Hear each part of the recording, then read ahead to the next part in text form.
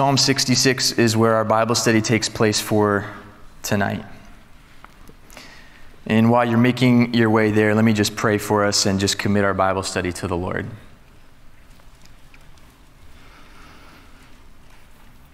God, we thank you for our time tonight.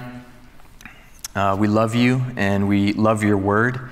And so we just pray now that you would speak to us and teach us as we study your word together, Lord. Pray for my brothers and sisters who came into this room tonight, potentially with a lot of worry or anxiety, maybe just different distractions. They can't take their mind off of certain things.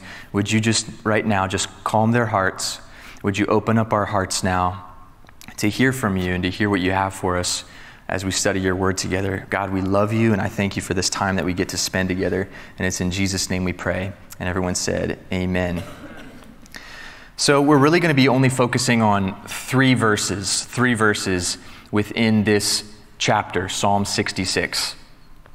The Christian life, as you know, is a life of continual growth and maturation.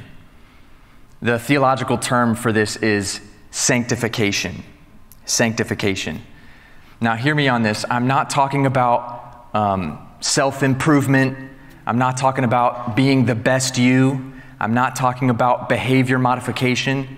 I'm talking about the awesomeness of coming into a relationship with Jesus Christ. And then when you surrender your life to Jesus Christ, God, by His Holy Spirit, begins to purify your life and purify your heart and mind and do the cleansing work that only God can do by His power and by His Spirit.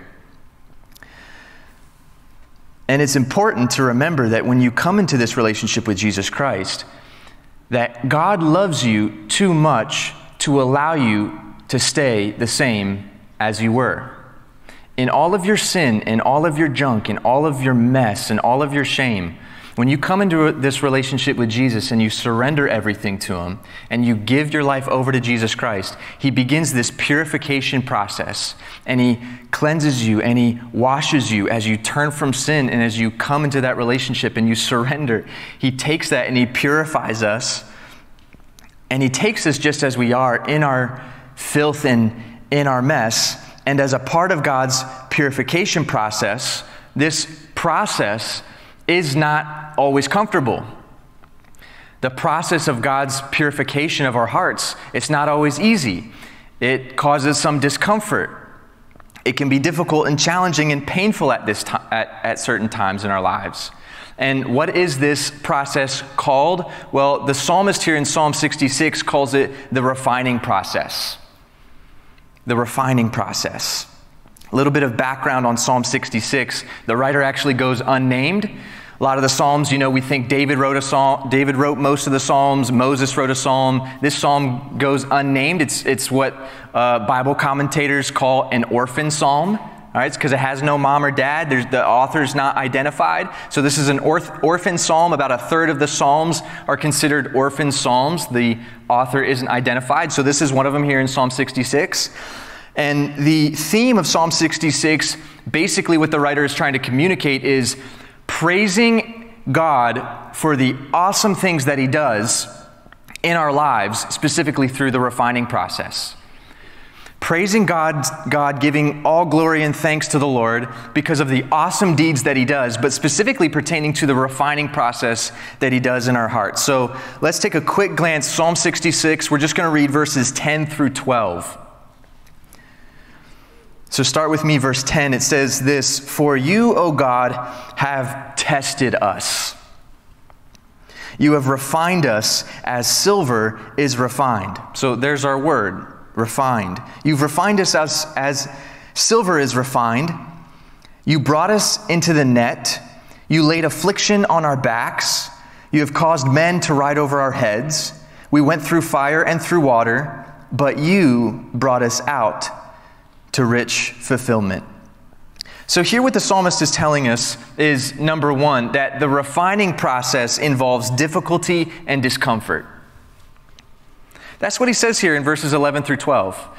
That the refining process involves difficulty and discomfort. Just listen to the language he uses here, verse 11. He says, You brought us into the net. Your translation might say prison or captivity. So the psalmist says, You brought us into the net, you laid affliction on our backs. You've caused men to ride over our heads. So you've put people uh, in authority and leadership over us. You've caused men to ride over our heads. We went through fire and through water. Now, no one knows exactly what time in Israel's history that the writer is referring to. Could have been when the writer, uh, it could have been that the writer is referring to Israel's time in Egypt when they were slaves. That's early in their history. Could be talking about later in their history when they're captive in Babylon. The prophet Daniel and Ezekiel talk all about that when they were taken captive from Jerusalem. So, could have been a number of things that the writer is talking about, but nonetheless, he's communicating that God's refining process sometimes involves a measure of discomfort and difficulty. That's what he says here. He's, he talks about how you brought us into this net. You caused men to ride over our heads. You brought affliction on our backs. But he starts this psalm by saying, You've refined us, you've tested us. So the refining process involves some measure at times of discomfort and difficulty. If you've been coming to Cornerstone any you know, period of time, you, you've probably heard my dad, Pastor Gary, uh, make fun of West Virginia. And that's just what, that's just what he does. Um, sometimes I do as well. And really, it's all just, it's all just because, you know, family makes fun of family. My, our roots, the Hamrick roots, go back to the hills of West Virginia. My great great grandfather, he was a preacher on horseback, and he just went and he preached the gospel on horseback through the hills of West Virginia. So, listen, when I make fun of West Virginia, when you hear Pastor Gary making fun of West, it's all in love. It's all in the family. I'm just curious, who, who can also trace their family roots to West Virginia? What's going on, cousin? Cousins, cousins. Okay. Okay, none of y'all marrying each other now. All right, that's weird. Keep it out of the family. But it's good to see you guys. And, you know, we know West Virginia, much of West Virginia is coal mining country. A lot of West Virginia is coal mining country. So just over the hill, a lot of coal mining country. And whether you're dealing with coal or whether you're dealing with other rocks or minerals, other precious metals, you have coal, gold, silver, all of that stuff, there's a refining process that needs to take place before that metal can be useful. And the writer here, he is comparing our lives to the refining process that certain metals go through. And this is what the psalmist is talking about here. When we get saved, it is as if God pulls us from the dirt. And we show up in all of our mess and in all of our filth, and then the Lord, by His Holy Spirit, when we give our filth to the Lord, He begins to purify and refine our hearts. Listen, the, the conception, we talked about this last week, I think, when Patty was here. The conception, it's a misconception, but the conception that you need to clean yourself up before you can be in a relationship with Jesus Christ, it's a misconception. God minds us out of the, you know, he, he minds us out of the dirt and out of the filth. We come to Jesus, He finds us, and then He begins that purification process in our lives and in our hearts when we turn from sin and we surrender everything to Jesus. So we come to Jesus in all of our filth when He minds us from the field, and then He begins that purification in our lives and in our hearts. But when someone refines rocks and metals and minerals, that process involves discomfort. The process to refine different rocks and metals involves washing and cutting and breaking and heat. Coal, to refine coal, it goes through this chemical bath to remove all the sulfur. Diamonds, you submerge diamonds into this acidic solvent. You place it into intense heat, 400 to 1,000 degrees Fahrenheit, before it becomes workable with silver or gold. There are other metals often bound to it, like lead or zinc, tin or copper. And so you put it into the furnace. And silver, you turn it up to about 1800 degrees Fahrenheit. Gold, you turn up the heat to about 2000 degrees Fahrenheit. So there's this intense heat in order to refine it and separate all of the impurities. I mean, talk about discomfort and difficulty. And it's easy for a metal or a stone to go through that intense heat and that intense discomfort because they don't have the, those metals don't have any sense of feeling. But talk about when the Lord does his refining work in our lives. That's hard. When the Lord turns up the heat in your life, because he's wanting to refine you and purify you and he turns up the heat and he puts on the squeeze that that's uncomfortable. That causes discomfort and that is difficult. But that's what the lord does in our lives. That's what the psalmist says. You refine us just like someone refines silver or gold.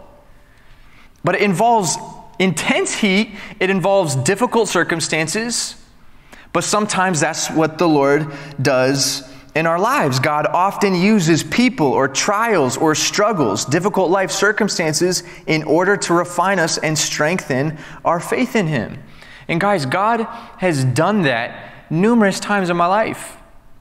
Now, here's the key when you feel the intense heat and when you feel the difficulty, you can either do one or two things.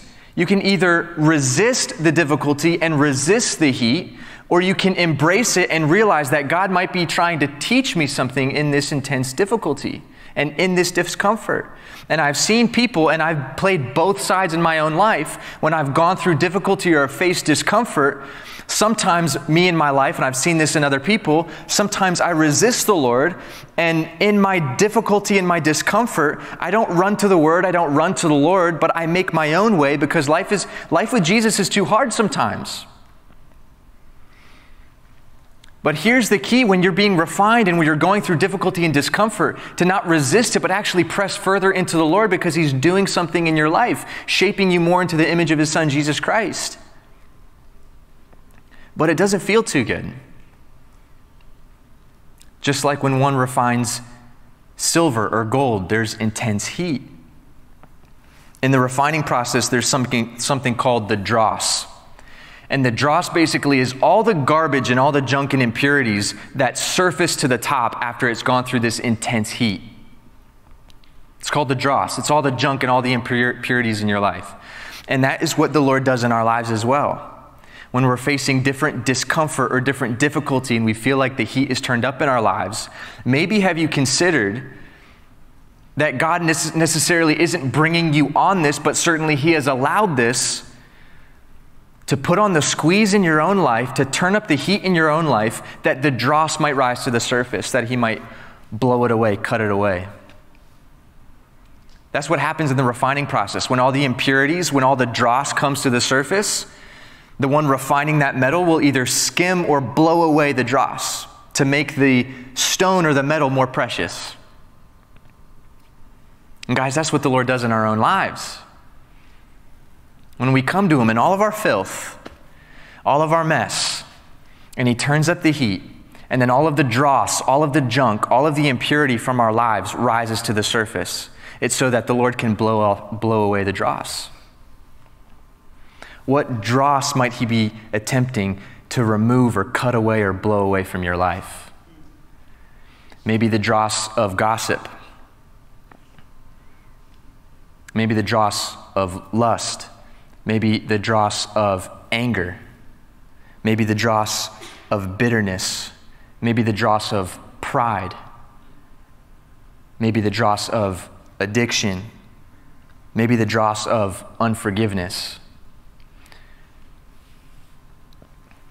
And when you figuratively feel like the temperature is up and God is putting on the squeeze in your life, don't despise the discomfort.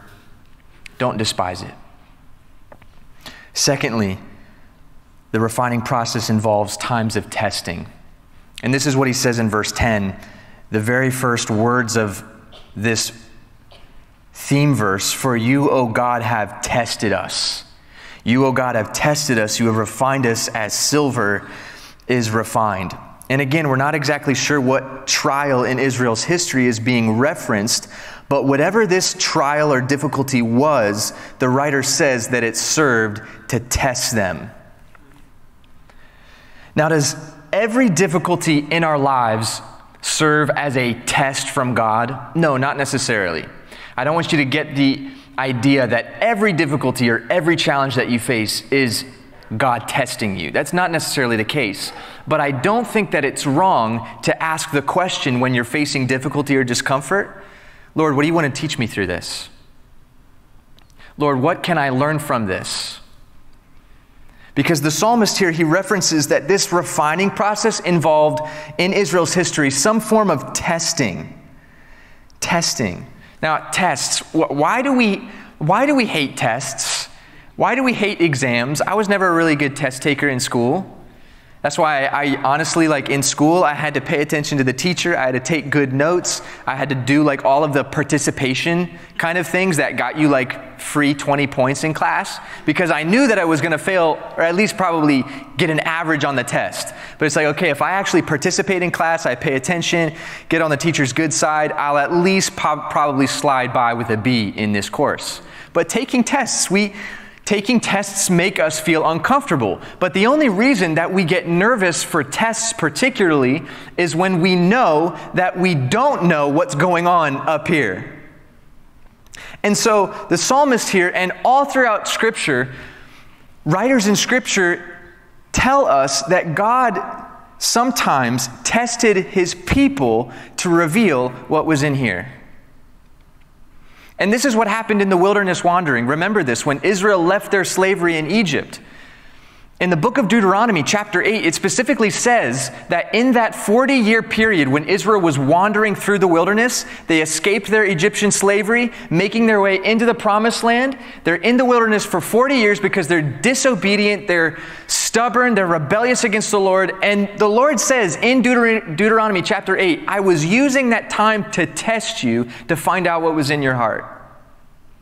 It says this in Deuteronomy 8, verses 1 through 2. 1 through 2 be careful, this is the Lord speaking, be careful to follow every command I am giving you today, so that you may live and increase and may enter and possess the land the Lord promised on oath to your ancestors. Verse 2 Remember how the Lord your God led you all the way in the wilderness these 40 years to humble you and to test you in order to know what was in your heart, whether or not you would keep his commands. God tested Israel. And it was not because he didn't know what was in their hearts, it was because they didn't know what was in their hearts.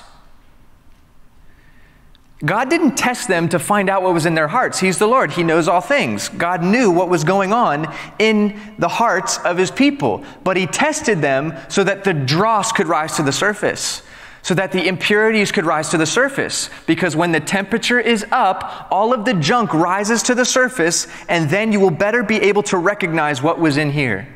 That's why Jesus said in the Gospels that out of uh, the, the overflow of the heart, the mouth speaks.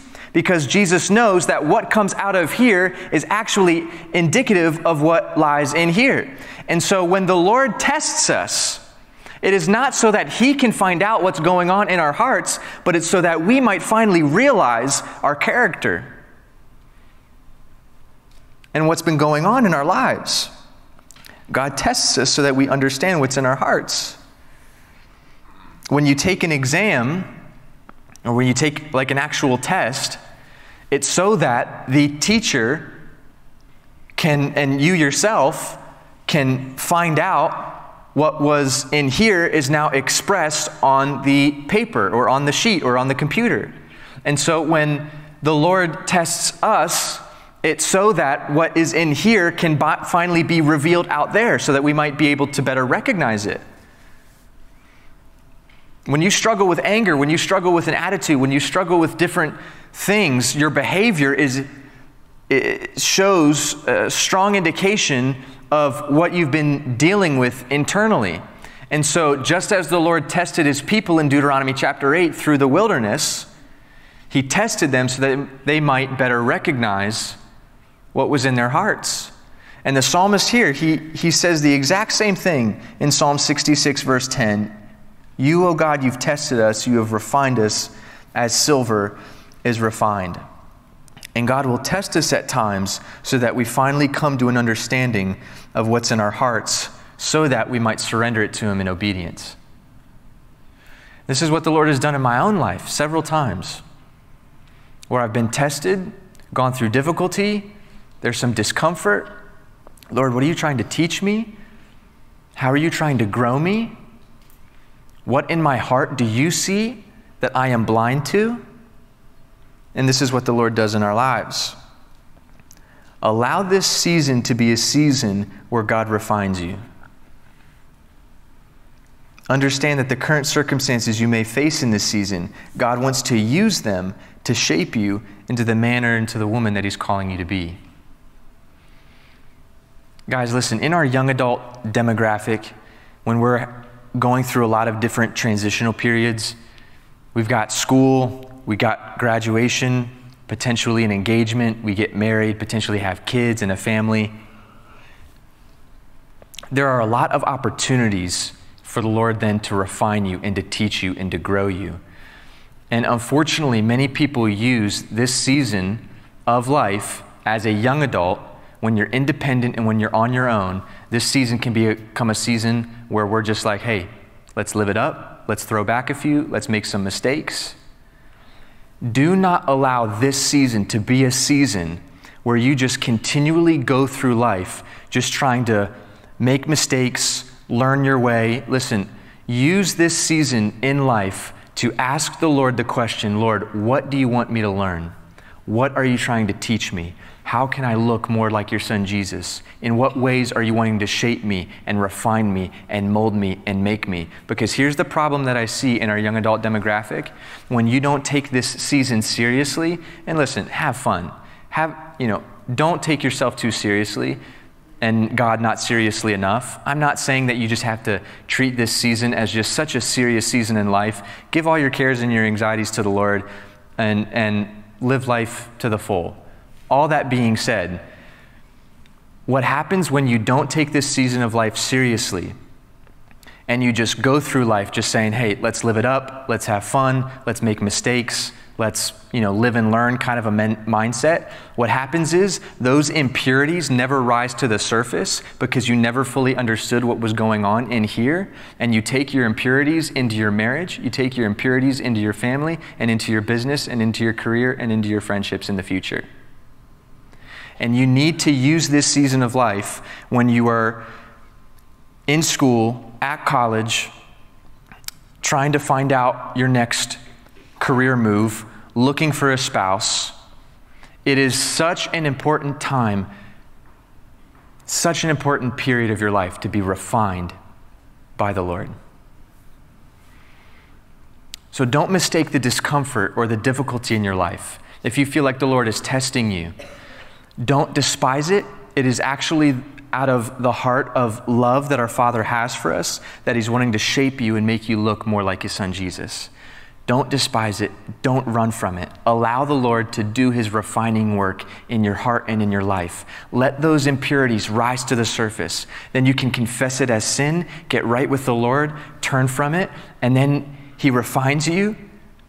You look more like his son Jesus. And yes, we're all, we're, you know, it's not like, hey, wait till you get perfect until you find a spouse. Wait till you get perfect until you can actually have a decent job. But my point being is, don't use this time in your life to just live it up and have fun and make mistakes. Use this time in your life to ask the Lord to refine you, to make you look more like His Son Jesus. Because the more impurities you confess to the Lord, and the more impurities and the more dross that rises to the surface so that the Lord might blow it away, the better it will be for your future marriage, for your future career, for your future family. Because you're dealing with all the stuff that's in your heart, you're using this season to the glory of the Lord, saying, Lord, listen, I'm, I'm yours. You found me from the coal mine in West Virginia. Now just refine me, put me through heat. Don't allow me to despise this difficulty and discomfort because I want to come out of this looking more like you. And that's how the psalmist ends that, that passage here in verse 12. He says, you've, he, he, he says you, you've, you've taken us through all this difficulty. Men have ridden on our backs. You've caused all of this affliction. We went through fire and through water, all of this discomfort, but this is how he ends it. But you brought us out to rich fulfillment. You brought us out to a greater place of abundance. This is the work that the Lord does in our lives. And some of you tonight, you might be going through difficulty. might be facing different challenges in your life. You might feel like right now you're being tested by the Lord. You feel like the heat is turned up. And sometimes when that happens, we can begin to feel like God has abandoned us, like God isn't concerned with what we're going through in the midst of our difficulty. And I want you to be encouraged that Job, he felt the same exact way. And I'm going to put up a verse here on the back wall because I think this is super relevant to the message tonight. Job in Job chapter 23, verses 8 through 12. This is what Job said But if I go to the east, he's not there. And if I go to the west, I don't find him. When he's at work in the north, I don't see him. When he turns to the south, I catch no glimpse of him. But he knows the way that I take. When he has tested me, I will come forth as gold. My feet have closely followed his steps. I have kept to his way without turning aside. I have not departed from the commands of his lips. I have treasured the words of his mouth more than my daily bread. You hear the language in Job's text here. He says, But if I go to the east, he's not there. He's being transparent with his feelings of abandonment. And if I go to the west, I don't find him. And when he's at work in the north, I don't see him. And when he turns to the south, I catch no glimpse of him. So he's talking about going through difficulty and discomfort, being tested by the Lord, and he feels like God has left him. He says, I don't feel the Lord working in my life. I don't feel like the Lord is active. When I turn to the right or the left, I don't see him. When I enter this path, when I go through this door, I don't see the Lord moving and working. And sometimes in our life, guys, that's exactly what we feel. We go through difficulty, we lose a family member, we lose a loved one, we're, we, we got let go from the job whatever it might be, whatever the test in your life you might feel like you're going through, whatever difficulty or discomfort, we feel like God is not concerned. We feel like God, whenever we turn to the right or the left, or we seek Him, we get into our Bibles in the morning, we don't feel the presence of the Lord, we don't feel close to Him. It is so dangerous to base, base your faith off of feelings, because feelings are up and down, feelings come and go. And this is what Job, he's being transparent with his feelings. He's saying, God, whenever I turn to the right or to the left, to the north, to the south, every direction, you didn't seem like you were with me. But then he says, But when he has tested me, I will come forth as gold. So he's keeping the greater picture in mind here. He says, My feet have closely followed his steps. And this is what I'm talking about. When we go through difficulty or periods of testing or discomfort, we can tend to compromise on our walk with the Lord because walking with the Lord is too hard and too difficult. Walking with the Lord becomes too difficult, so I'm just going to turn back to my old friend groups, turn back to the way I was going, turn back to the language I was using, turn back to the old bad habits because walking with Jesus is too hard. But in the old habits and in the bad friend groups, at least there was some fun, at least there was some relief, and at least there was some measure of brief comfort in that, right? But Job says here, he says, No, even though I couldn't see the Lord actively working and moving in my life, even though I turned every direction, God seemed absent. I knew He was testing me, and I knew that I would come out of this like gold. Because He says, I have decided to follow in His footsteps. So he recognized the discomfort. He recognized the feelings of abandonment, but he knew that the Lord was still working behind the scenes. God's silence does not mean God's absence. God might seem silent in your difficulty. God might seem silent in the testing, but it doesn't mean he's absent, and Job knows that. He says, My feet have closely followed his steps. I have kept to his way without turning aside. I have not departed from the commands of his lips. So he's talking about getting into the word of God, being obedient. It is so difficult, guys, to remain obedient in difficulty, but I am telling you, it is so worth it. Remain obedient in difficulty.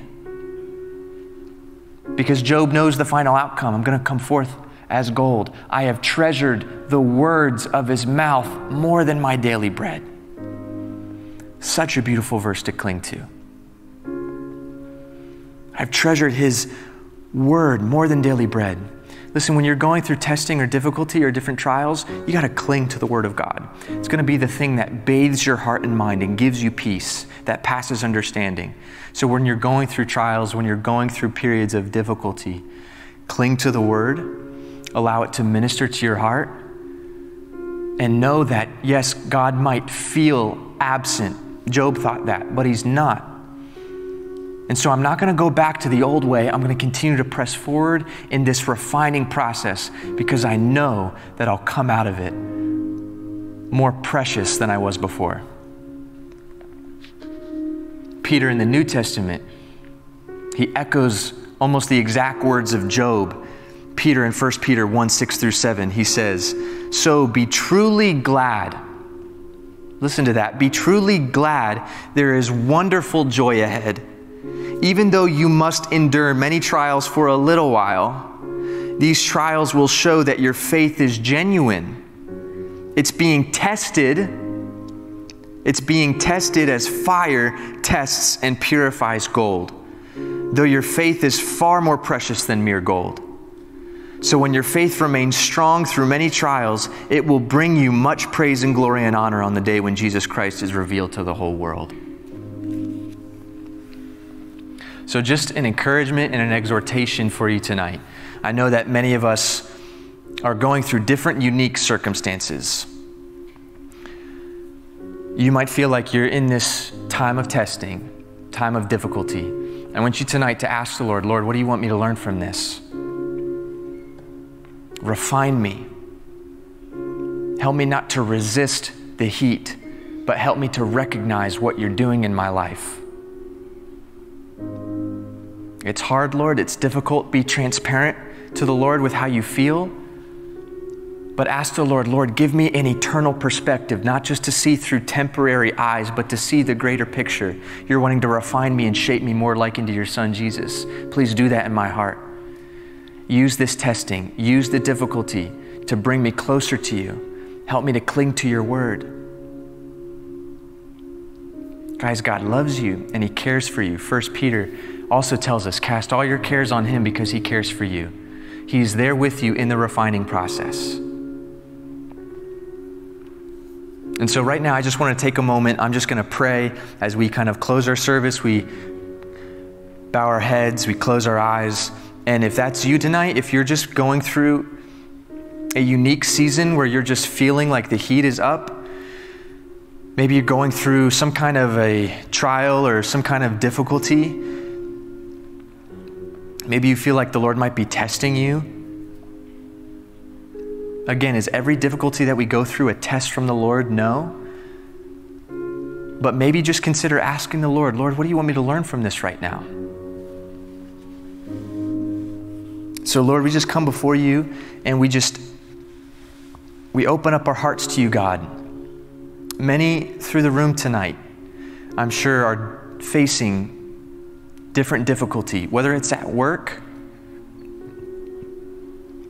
maybe it's at school, maybe there's a lot of family tension. Maybe someone in this room tonight has ex- experienced great loss. I just pray now that you would help us, Lord, to see exactly what you're doing Refine us. Purify our hearts, Lord. All of the impurities, all of the dross, may all of our sin that we're not even aware of, may it rise to the surface so that we might confess it, that you might cut away the dross from our lives, that you might blow away all of the impurities, Lord, so that we might look more like you. Use this time of testing and difficulty to help us to know what's in our hearts so that we might turn from it and repent, Lord, and have greater, deeper, intimate fellowship with you. Help us not to run from your word or resist your word, but help us to run toward your word in the midst of our difficulty. Help us to cling to it so we just, I pray for my brothers and sisters tonight. God, purify us by your word. Purify us by the fire of difficulty in our lives. We just give everything to you now, God. We surrender everything to you, Lord. I pray that in the midst of discomfort, Lord, help us to not be discouraged, but again, help us to cling to you and help us to know just how much you love us. Help us to know and understand that you haven't abandoned us, but that you're walking with us. Help us to maintain an eternal perspective, Lord. That the temporary things we go through are just that, they are temporary, Lord. But you are doing a work in our lives. You are refining us and purifying our hearts tonight. So do that by your power, Lord, by your love. Refine us so that we might look more like your Son. We love you, God. We thank you for our time together. I pray for the rest of our week that you would go before us, Lord, whether it's at school or work. Uh, just be with us, God. Help us to fix our eyes on you. Help us to keep Psalm 66 at the forefront of our minds, Lord, knowing that any difficulty or any trials, Lord, that is purifying us and it's strengthening our faith, bringing us closer to you. So we love you, God. Again, we thank you for our time. Um, we just pray for our Friendsgiving next week. Pray that many more people who don't even know you would come, they would experience this fellowship, that salvation would happen. Um, just, just give you the rest of our week, and we give you our, our fun time next week at our Friendsgiving. Um, and we just give you the rest of our night. And it's in Jesus' name we pray. And all God's people together said, Amen and amen.